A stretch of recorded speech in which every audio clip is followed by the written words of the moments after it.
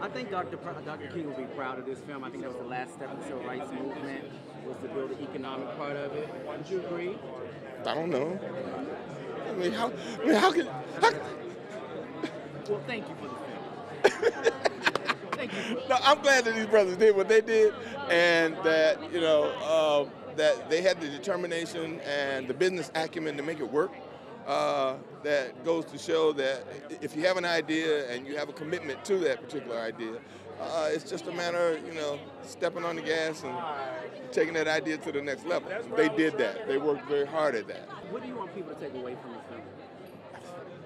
what I just said. That if you have a if you have a sense of determination and you have an idea, don't give up on that idea. Do everything you can to make that idea happen, make that idea work.